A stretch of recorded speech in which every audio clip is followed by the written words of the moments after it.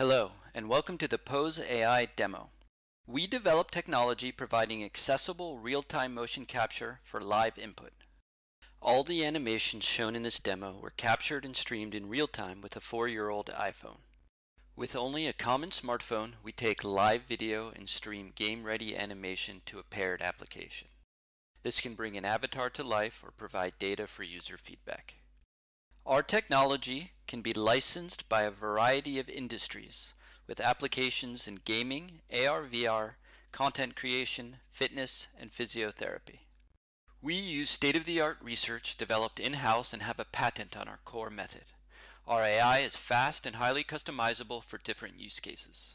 We currently offer a plugin for the Unreal Engine and scripts for Unity 3D. We also have demo projects on our GitHub page.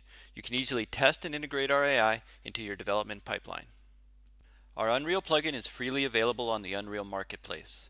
It connects with the LiveLink system to easily integrate animations. We have custom nodes to help set up LiveLink sources in a project and a controller with blueprint events to recognize player actions. For Unity, we have custom scripts which set up a source to receive streams, an animation controller which connects with Unity's animation pipeline, and a sample character controller which uses player actions to trigger gameplay. We will now showcase some of our AI functionality with the Unreal and Unity demos. Our app, shown here, allows users to stream from their phone to a PC, console, or server running a host application. Developers can also license our technology to embed in their own mobile app. Here we use the app in desktop mode at short range. In the next few clips, we will demonstrate our app in room mode, showing event-driven gameplay and then freestyle full-body animation. Just like pressing forward on the keypad, we recognize when the player takes a step, triggering an event and moving the avatar. We blend a lower body running animation with live upper body mocap. We can also trigger events from other player motions.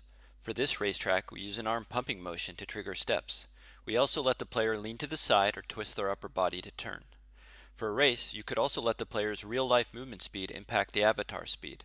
The faster they jog, the faster their character moves.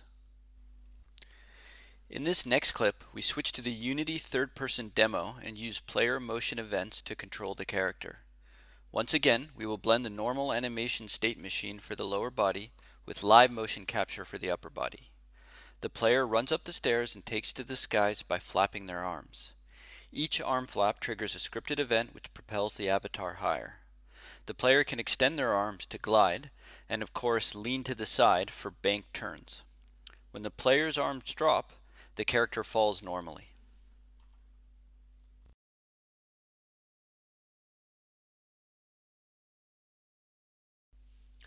You can easily switch between event-driven hybrid animation and full live motion capture. Free your players to dance in a victory celebration, perform emotes unconstrained by canned animations, and use Pose AI to build player motion into your core gameplay. Thank you for watching, and contact us at info at poseai.co.uk if you have any questions.